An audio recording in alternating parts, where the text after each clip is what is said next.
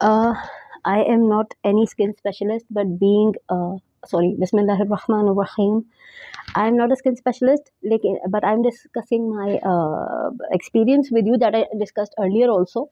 That I had a severe reaction, or you might say, quite a bit of reaction on this part of my uh, face when I used uh, olive oil mixed with castor oil mixed with essential oil of uh, eucalyptus. So uh, that was like my skin got red from here and God, those dark pinkish red uh, spots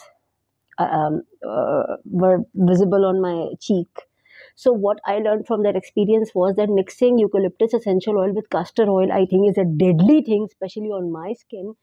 Uh, thanks to Allah that my skin got back to normal, but it was like something I'd never want to uh, experience again.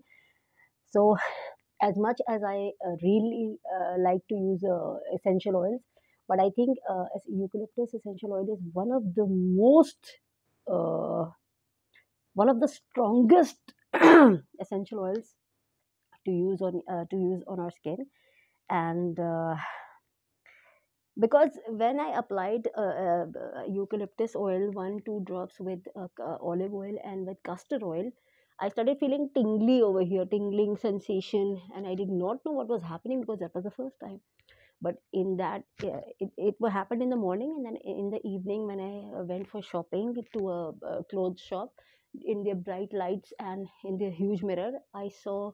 my cheeks with red, reddish pink spots, and I was like, okay, so something has happened, and I never want to